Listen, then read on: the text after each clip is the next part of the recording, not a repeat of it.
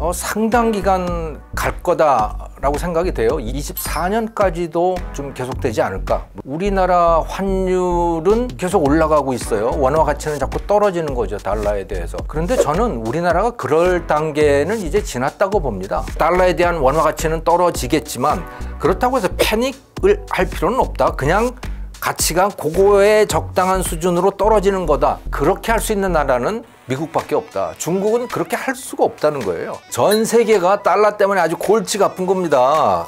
아무리 달러가 싫어도 그 대안이 뭐냐 그러면 달러가 그야말로 비리비리함에도 불구하고 그럼에도 불구하고 계속해서 달러일 수밖에 없는 이유인 거죠.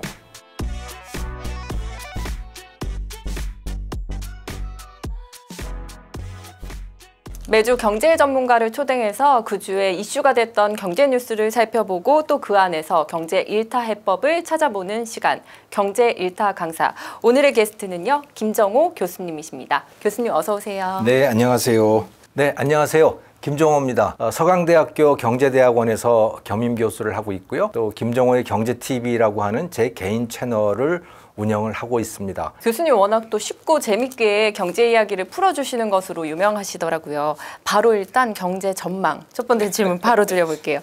어, 연준회의가 이제 일주일 앞으로 다가왔습니다. 네. 아무래도 뭐 기사들을 보다 보니까 5월에 이제 25bp 인상할 것 같다라는 네. 의견이 조금 더 많은데요. 예. 교수님은 좀 어떻게 보시나요? 뭐 저도 그렇게 생각을 해요. 그 뉴욕 연방은행 총재가 발언을 했더군요. 아직도 미국 인플레가 높다.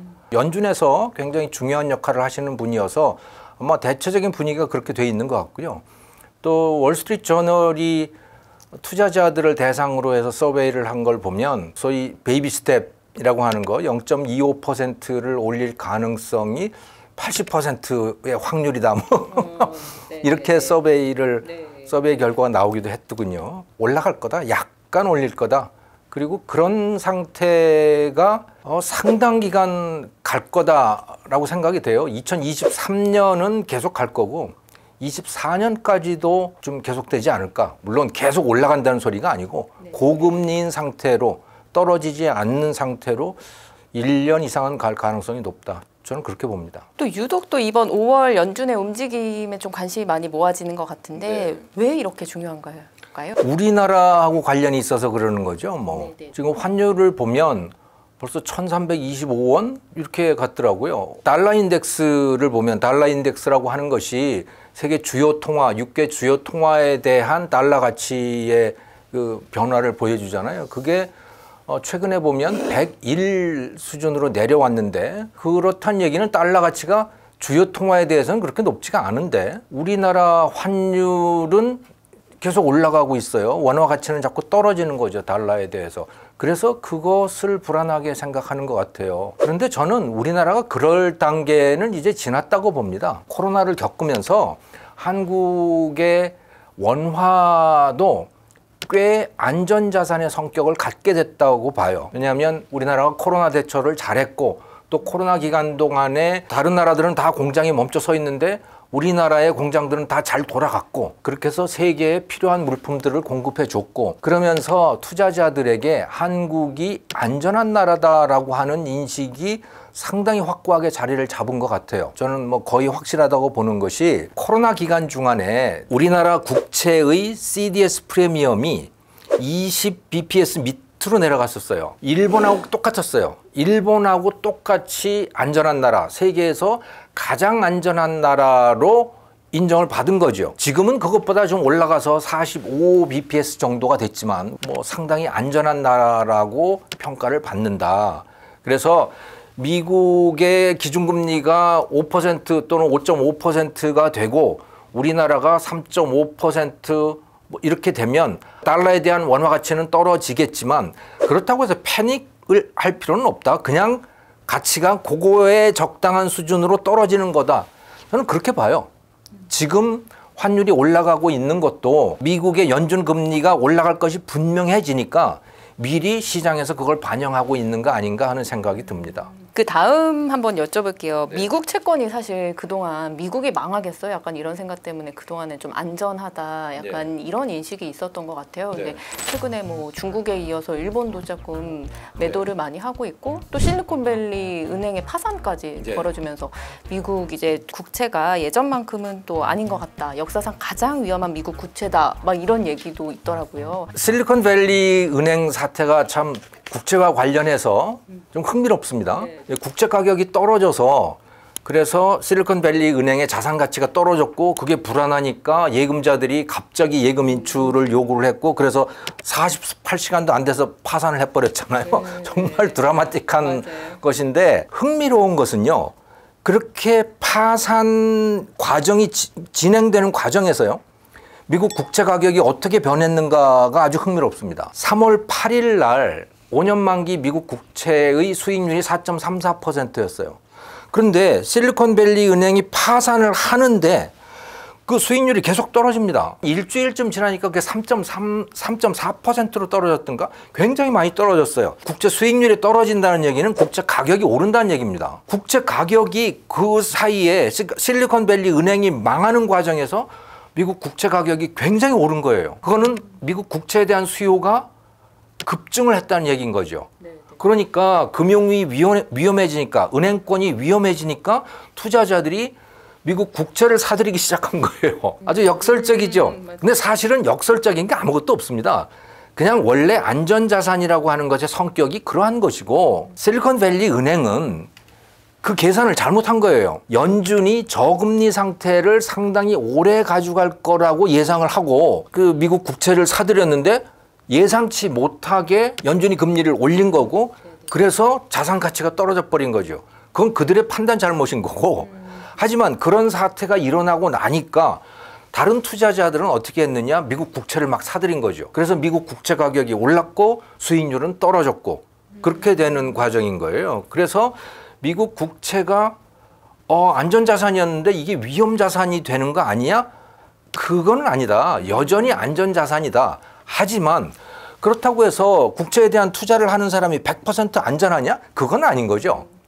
다만 미국 정부가 부도 낼 일은 없다라고 하는 관점에서의 안전자산인 겁니다. 미국 국채의 안전자산으로의 성격은 달라진 게 아무것도 없고 그것은 실리콘밸리 은행 사태 이후에 벌어졌던 미국 국채 시장에서의 투자자들의 반응에 그대로 드러나 있는 것이다. 근데 아무래도 이번 실리콘밸리 은행 파산이 조금 여파가 좀 큰 것 같아요. 그래서 달러 기축 통화의 위상이 흔들리는 것 아니냐 이런 예. 얘기도 있고 또 국제적 관계도 사실 미국한테 좀 불리하게 중국이 위안화로 계속 지금 달러에 도전을 하고 있는 모습이고 반 달러 패권 연대 세력도 좀 점진적으로 확대되는 것 같다 이런 얘기가 있는데요. 네. 미국 달러 좀 어떻게 보시나요? 전 세계가 달러 때문에 아주 골치가 아픈 겁니다. 그러니까요. 달러 값이 올라서 이거 뭐 우리나라도 지금 뭐 PF 대출 네. 뭐이 난리지.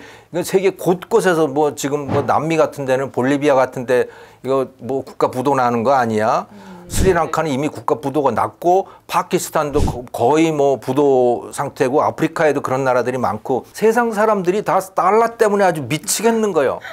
그래서 달러를 어떻게 됐, 어떻게 됐든 이거 없애버리고 싶은 그런 생각들이 매우 강한 거죠. 그런 여파 속에서 나오는 행동들이다라고 저는 생각이 돼요. 그리고 미국이라는 나라가 옛날만큼 그렇게 뭐 대단한 나라도 아니지 않냐. 솔직히 생각을 해보면 우리나라도 이제 미국이 뭐 그렇게 대단한 나라가 아닌 거예요.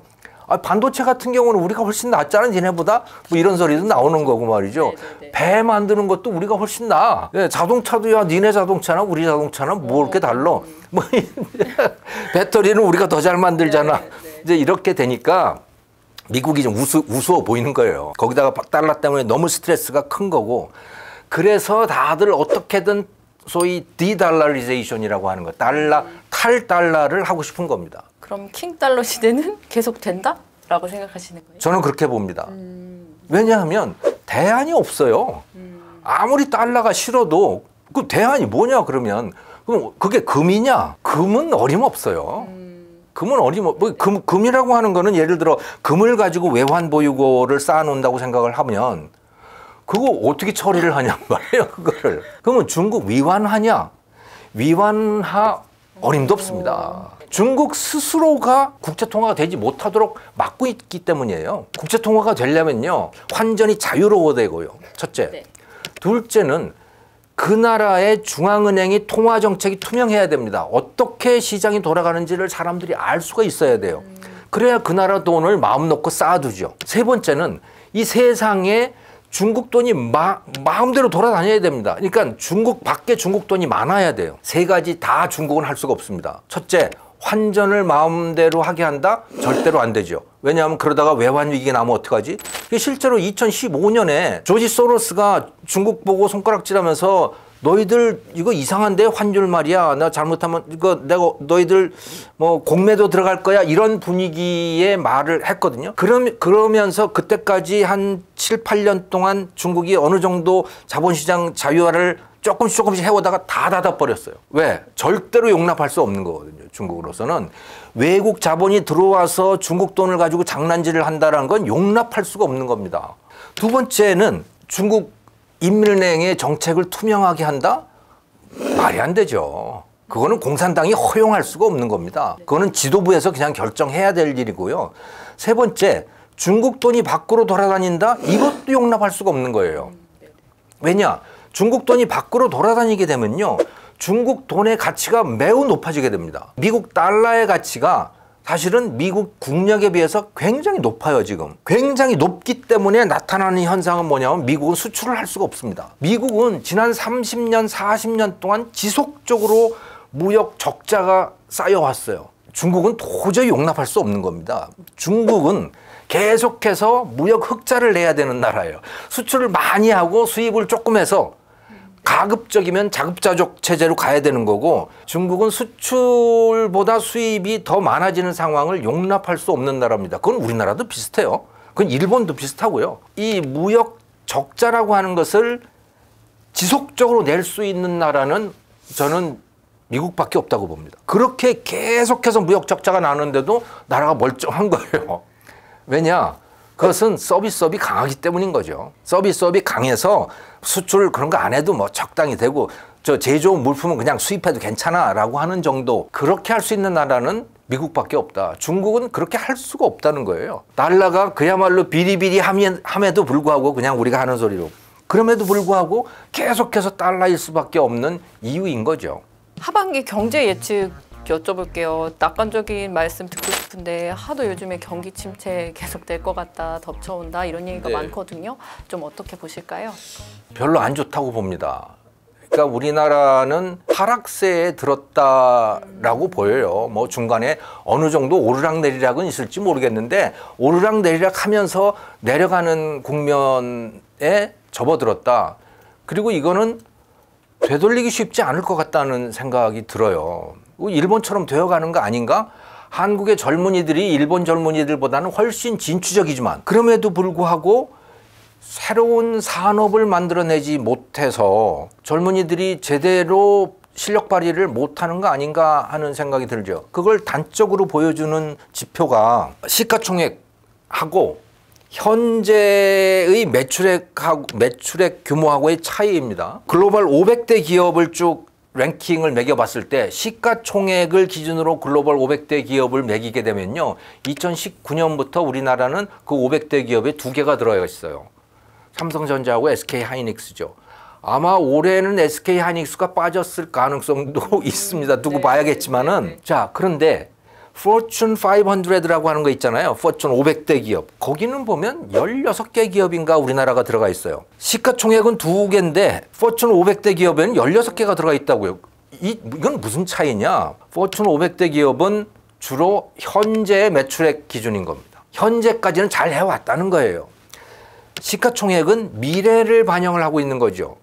순전히 미래인 거죠. 시가총액. 그렇기 때문에 테슬라처럼 돈 한 푼 못 버는 회사가 맨날 적자만 내는 회사가 엄청난 시가총액을 가지고 있잖아요. 그거는 미래를 말해주는 거거든요. 근데 우리나라 기업들의 미래가 지금 그렇다는 거예요. 근데 2010년에 그 시가총액 500대 기업에 2010년에는 9개가 들어가 있었습니다. 한국 기업이. 그 몇 년 사이에 다 탈락을 한 거예요. 현대자동차며 포스코며 뭐 다 탈락을 한 거죠.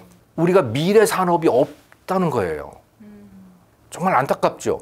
그 그거를 근데 돌이킬 수가 있는가 지금 우리가 현재 상태에서 저는 없어 보여요. 완전히 새로운 게 나와야 되는 거죠. 뭐 그 완전히 새로운 것 중에 하나가 배터리 같은 뭐 이런 거고. 그러니까 지금까지 생각하지 못했던 굉장한 산업들을 우리가 젊은 사람들이 만들어내야 되는데 그게 안 보여요. 저는 그게 제일 가능성 높은 게 교육이라고 보고 농업이라고 보고 유통 이런 거라고 봐요. 왜냐하면 이게 너무 낙후돼 있거든요. 70살 먹은 사람들만 농사를 짓습니다. 저 같은 사람들만. 그게 무슨 산업이에요? 산업이 아니지. 이제 다 이제 물러가야 돼요. 제발 좀 그만했으면 좋겠어요, 그 사람들이. 젊은 사람들이 들어가서 농사를 지어서 글로벌 마켓에 나갈 수 있도록 길을 열어줘야 되는 거죠. 교육도 마찬가지입니다. 얼마든지 세상 사람들이 유학 오고 싶은 학교들을 만들어낼 수 있어요, 우리는. 기존에 교육하는 사람들만 물러나주면 되는 거죠. 그러면 얼마든지 젊은 사람들이 그렇게 해낼 수 있다고 봐요. 그런 센스도 있고 그런 용기도 있는데 기득권들이 안 물러나요. 그 기득권이 교사고 공무원이고 뭐 이런 사람들인 거죠, 다. 그건 유통, 유통도 마찬가지예요. 우리나라 유통이라고 하는 거 조금 발전할 만하다가 뭐 골목 상인, 골목 상권 보호네 어쩌고 저쩌고 하면서 완전히 80년대에 묶여버린 거예요. 그런데 그, 그 잠재력이 어마어마하죠. 그걸 다 지금 묶어놓고 있는 거거든요. 그러니 어디에 가서 뭘 할 수 있냐고요, 한국, 한국의 젊은이들이. 못하는 거죠. 그래서 이제는 좀 저같이 나이 든 사람들은 이제 좀 물러나라, 제발 좀. 젊은 사람들이 들어가서 그, 그 업을 할 수 있도록 좀 물러났으면 좋겠어요. 그래서 젊은 사람들이 지금 정말 낙후되어 있는 거, 이거를 가지고 글로벌 산업을 만들어내도록 했으면 좋겠다. 저는 그런 생각입니다. 너무 이제 무슨 선거 유세하듯이. 그러니까 이제 반도체 기업은 죽었다. 그런데 소비자들은 좋을 거다. 왜냐하면 오 미친 거 아니야?